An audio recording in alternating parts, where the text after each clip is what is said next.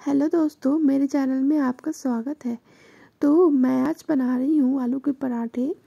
तो आज ना कुछ डिफरेंट तरीके से बनाते हैं। तो आलू के पराठे जनरली गोल बनते हैं, मैं ट्रायंगल शेप में बनाऊँगी। और ऐसे बनाऊँगी, वो फटेंगे नहीं। तो चलिए बनाते हैं। सबसे पहले ना मैंने आलू उबाला था।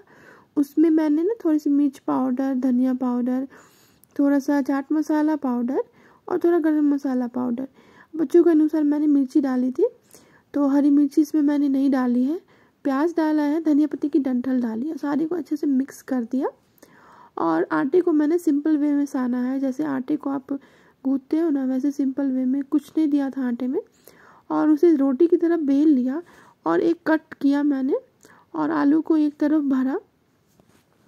और दूसरी तरफ़ से मैं ना सॉस लगाऊँगी, जिसमें तो जो भी तीखा जो भी इसमें तीखापन होगा ना, वो उसमें बैलेंस हो जाएगा।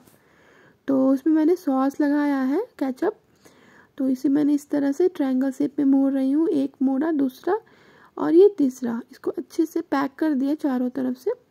ये देखिए, दो दो तरफ़ से ना मैंने पैक किया है। ये देखिए, ट्रायंगल शेप है और इसमें थोड़ा सा चारों तरफ़ से पैक, तीनों, दो, सॉरी, दोनों तरफ़ से पैक करने के बाद ना मैंने इसे थोड़ा सा आटा फैला दिया है और इसे मैं बेलूँगी। तो बस आप देख लेना कि इसमें चारों, जो भी जहाँ से भी हो ना, वो पैक हो, ताकि वो सभी कहीं से खुले नहीं।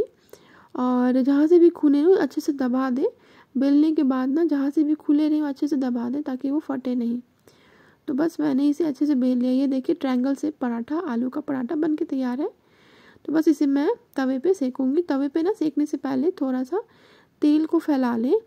ऐसा करने से क्या होता है ना, वो तवे पे चिपकेंगे नहीं और आलू जो जो भी निकले हैं किनारे से वो लगेंगे नहीं तो अच्छे से सीख जाएँगे। तो बस मेरी तरफ़, दोनों तरफ़ से पक चुके हैं। थोड़ा मोड़ा तो निकलता ही है आलू है, लेकिन ये बिना फटे बने हैं। देखिए कितना अच्छा लग रहा है ना कलर। तो बस मैंने जो आलू का पराठा बनाया ना, मेरे बच्चों को बहुत पसंद आया। और ये ट्रायंगल से पराठा देख के उन्होंने एक मिनट में सब ख़त्म कर दिया। तो मेरी ये ट्रायंगल शेप्ड पराठा, आलू पराठा तैयार हो गया। अगर मेरा ये ट्रिक आपको पसंद आया हो ना तो प्लीज़ मुझे कमेंट करके बताएँ। कमेंट सेक्शन में ज़रूर लिखें मेरी रेसिपी आपको कैसी लगी। शेयर एंड सब्सक्राइब करना ना बोले थैंक यू सो मच